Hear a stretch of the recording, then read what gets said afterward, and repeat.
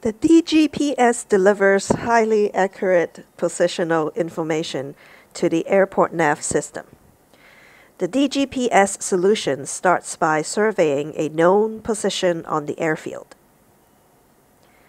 A base station is then set directly at that known position. This base station has the ability to receive GNSS satellite signals like the mobile devices. The GNSS satellite signal contains positional errors within the signal which decreases the positional accuracy and is represented here by the red dotted line.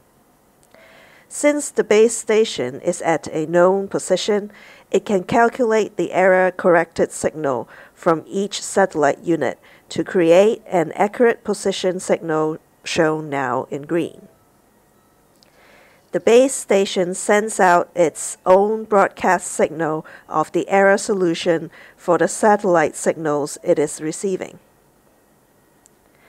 As the mobile AirportNav units are receiving satellite signals from a GNSS satellite, they are also receiving the error solution broadcast from the base station.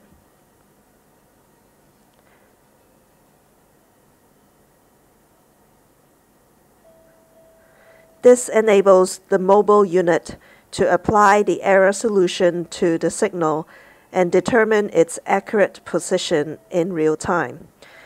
This DGPS system works for all the GNSS satellites that are able to be received simultaneously.